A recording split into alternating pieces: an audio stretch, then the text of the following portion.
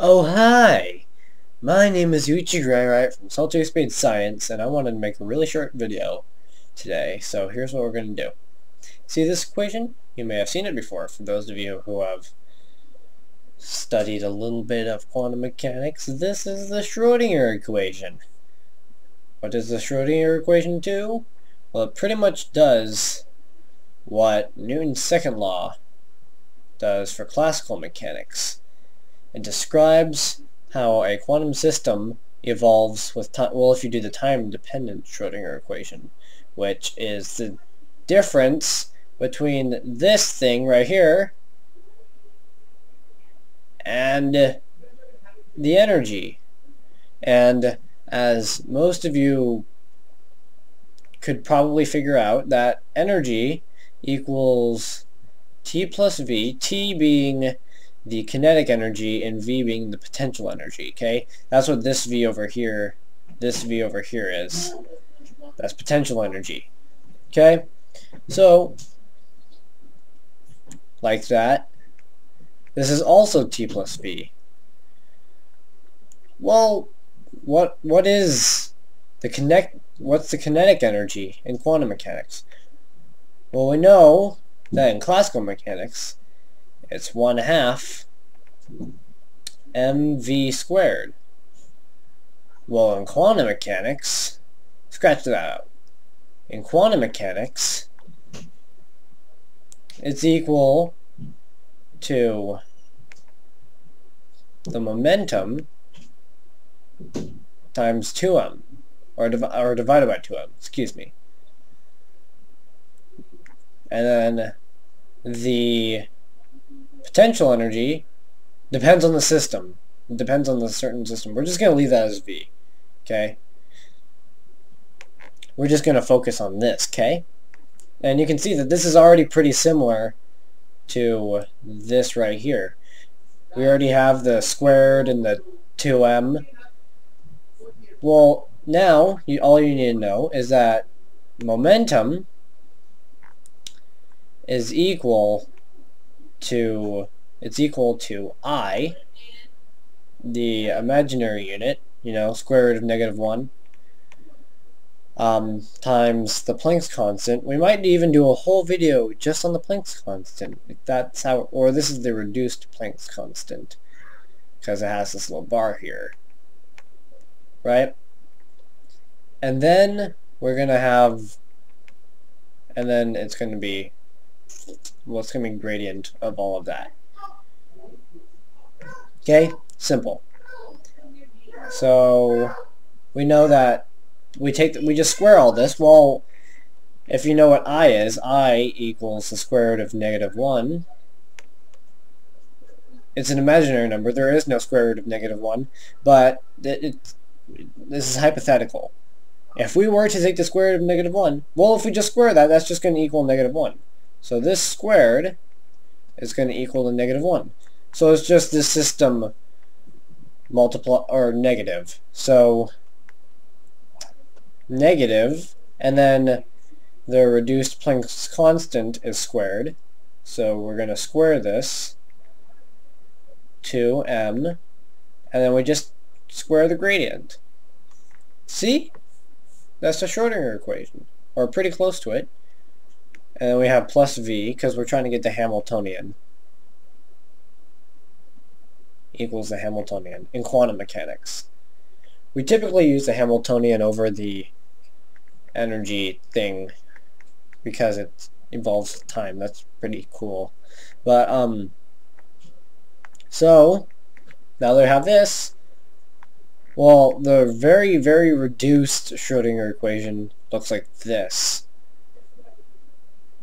And if you know simple math, you know that these psi cancel out, and this is just h equals e. Okay? We've already stated that, but what's the psi right here? Well, this is called the wave equation, or the wave function. Wave function. And this is probably one of the most troublesome and complicated things in mathematics. Seriously, we are definitely going to do a whole video just on the wave equation, or the wave function. Okay? It's weird. Okay? Generally it follows this.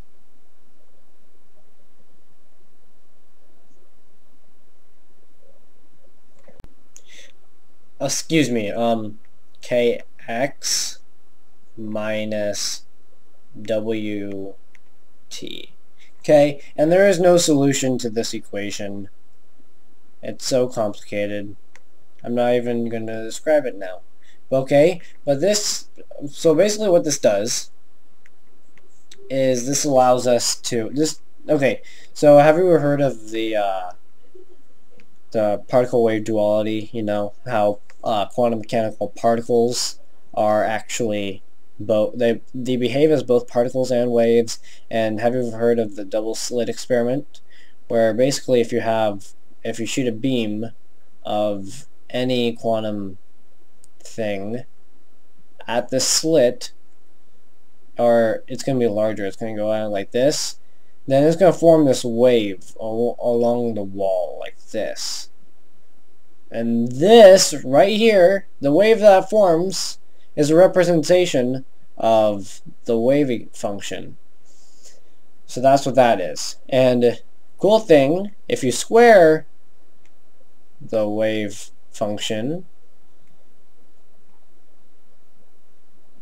you get the probability density. I don't I don't know. Um prob I'm not going to write the whole thing out. Probability density. You get the probability density. So like for example, at this tippy top right here, which if you've taken calculus 1, you know you can find that by finding the derivative of so you know that if that you can find the highest probability if you take this and set to 0 the x is going to be the highest. If, if you just do this then you'll find the highest probability of a system evolving in this manner if you know just a thing heads up. So basically like the higher you go up on the slope the higher the y you go up on this the more probable it is. Okay? And this is just the x-plane okay? And that's why if you just take the if you set the derivative to zero because the slope here is going to be zero. Hopefully some of you know that. But we're getting off on tangents. Let's go back to the Schrodinger equation. All we have to do is take the Hamiltonian right here and add a psi. And what do we get? We get... Oh, this is lagging a lot. Huh. Well, we're going to have to live with it. We're almost done with the video. Right? And then, so... Please excuse the lag and then we just um, multiply each thing by psi.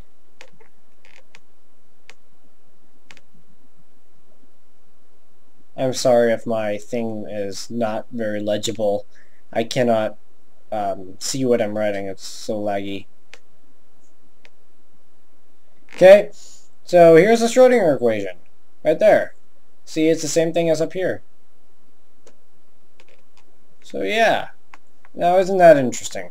That's just a quick video, and I just wanted to ask you guys, do you like the new black background? Because I like it. It's more Khan Academy-like. It's professional. I like it. So yeah, that's that's that's my video. Short video. Not very complicated. Simple. So, yeah.